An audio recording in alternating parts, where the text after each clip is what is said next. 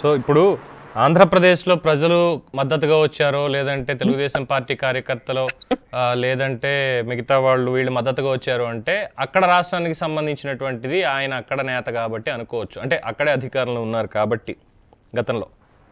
ఎందుకు ఇక్కడ హైదరాబాద్లో ఇన్ని వేల మంది స్వచ్ఛందంగా వీళ్ళు రావాల్సినటువంటి అవసరం ఏంటి? అలాగే విదేశాల్లో ఉన్నటువంటి వాళ్ళు కూడా ప్లకార్డులు పట్టుకొని ఈ మాటలు మాట్లాడడం ఈ నిరసన వ్యక్తం చేయడం ఇవన్నీ దేనికి అసలు ఎందుకు అంత అభిమానం అంటే ఆయనకి? ఇది దేనికి సంకేతం? పవన్ కృష్ణ గారు మీకు డిబేట్లో పాల్గొన్న ఇద్దరు సోదరులకి ధన్యవాదాలు. ఇది సమాజం పవన్ కృష్ణ గారు. ఇది సమాజం. సమాజం ఇంకా చచ్చిపోవాల? సమాజం ఇంకా అచేతనంగా నిర్వీర్యం కాల అన్యాయం జరుగుతుంటే ఆవిడ తెలుగుడైనా అమెరికా వాడైనా మాట్లాడతాడు. ఇది మానవ సమాజం మృగాలం కాదు మనం. లేదా పశువులం కాదు. కళ్ళ ముందు దుర్మార్గంగా అనిపిస్తుంటే కళ్ళ ముందు దుర్మార్గంగా అనిపిస్తుంటే మౌనంగా చేతులు కట్టుకొని ఉండేవాడు ఎవడుంటాడు చెప్పండి? ఈ రోజున హైదరాబాద్లో ఐటీ ఉద్యోగస్తులు రోడ్డు మీదకి వచ్చారంటే ఎవరు పిలవాల వాళ్ళని? పిలవాల్సిన అవసరం లేదు. పిలవాల్సిన అవసరం లేదు. సాక్షాత్తు నాకు తెలిసి నలభై సంవత్సరాల రాజకీయ జీవిత సౌధం చంద్రబాబు నాయుడు గారు. నేను తెలుగుదేశం పార్టీ కాకపోయినా చెబుతున్నాను నేను. ఆయన రాజకీయాల్లో ప్రవేశించినప్పుడు ముఖ్యమంత్రి గారు బహుశా చెడ్డీని పెట్టున్నారు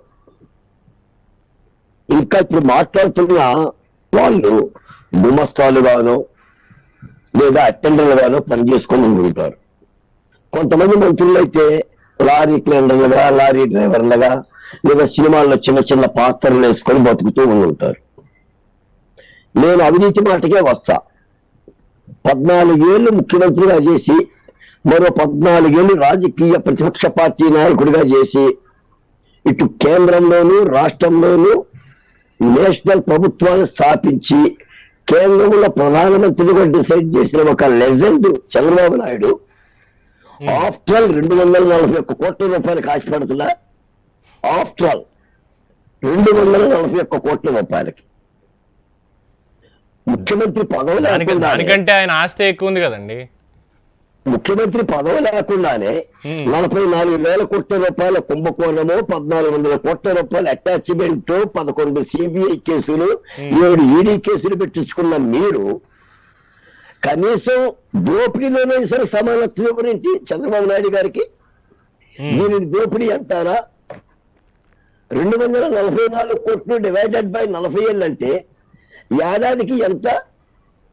నాకు తెలిసి వైసీపీ పరిపాలన ఈ నాలుగేళ్ళలో ఎమ్మెల్యేలు రెండు వందల నుంచి ఐదు వందల కోట్ల రూపాయలు పొక్కారు ఈ నాలుగున్నరేళ్ళలో. ఉమ్, ఆంధ్రప్రదేశ్లో ఉమ్, ఈ రోజున ఏమైందంటే ఒక రాజకీయ నాయకుడు అవినీతికి పాల్పడ్డాడు అని నిలదీస్తే ఎమ్మెల్యే గాని మంత్రి గాని ముఖ్యమంత్రి గాని ప్రజలను నమ్మే స్థితికి రాజకీయాలు తెచ్చారు. యూనివర్సల్ అయిపోయింది.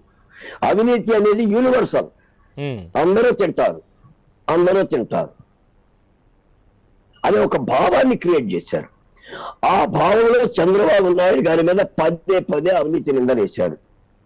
రెండు వందల నలభై ఒక్క కోట్ల రూపాయలకి ఆర్థిక ఉగ్రవాది ఏంటి? పవన్ కృష్ణ గారు?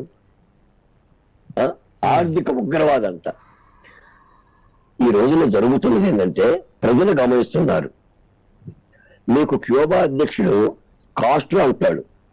అవినీతిపరుడు రాజు అయితే అవినీతిపరుడు రాజు అయితే ప్రభువు అయితే నీతివంతులంతా జైళ్ళకి పోతారు అని. చంద్రబాబు నాయుడు గారి విషయంలో కూడా అదే జరిగింది. నేను ఒక మాటే చెప్తా. అన్నమంతా పట్టుకోనక్కర్లా ఉడికిందా లేదా అని ఈ కేసు తప్పుడు కేసు దుర్మార్గపు కేసు రాజకీయ కుట్ర కేసు అని చెప్పడానికి ఒకే ఒక నిదర్శన. దీనికి లా చదవనక్కర్లా ఐఏఎస్ అవ్వనక్కర్లా ఐపీఎస్ అవ్వనక్కర్లా జడ్జిలు కూడా అవ్వనక్కర్లా మీరు ఆలోచించండి. ఉదాహరణకి ఓబులాపురం గనుల విషయంలో ఓబులాపురం గనుల విషయంలో గాలి జనార్దన్ రెడ్డి గారిని అరెస్ట్ చేశారు. ఆ గనులను అక్రమంగా కట్టబెట్టినందుకు గాను అందుకు సంబంధించిన ఐఏఎస్ అధికారులు శ్రీలక్ష్మి గారిని దయాచారి అనుకుంటా చారి గారిని అరెస్ట్ చేశారు. ఈ కేసులో ఈ కేసులో- ఒక చంద్రబాబు నాయుడు గారిని అరెస్ట్ చేశారు తప్ప సంబంధిత సంబంధిత ప్రేమచంద్రారెడ్డి గాని లేదా మరో రెడ్డి గాని మరో రెడ్డి గాని ఎవరిని కూడా టచ్ చేయాల. నేను అడుగుతున్న పవన్ కృష్ణ గారు మిమ్మల్ని ముఖ్యమంత్రి డైరెక్ట్గా సంతకాలు పెట్టేస్తారు అన్నిటి మీద ముఖ్యమంత్రి ముఖ్యమంత్రి సంతకాలు పెట్టారనుకుందాం ముఖ్యమంత్రి సంతకాలు పెట్టారనుకుందాం దాని. పర్యవేక్షణ అంతా వీళ్ళేగా డైరెక్టర్లేగా పవన్ కృష్ణ గారు పవన్ కృష్ణ గారు ప్రజాస్వామ్యంలో దోపిడీ జరగాలన్నా కూడా దానికి ఒక అధికారం ఉంటాడు.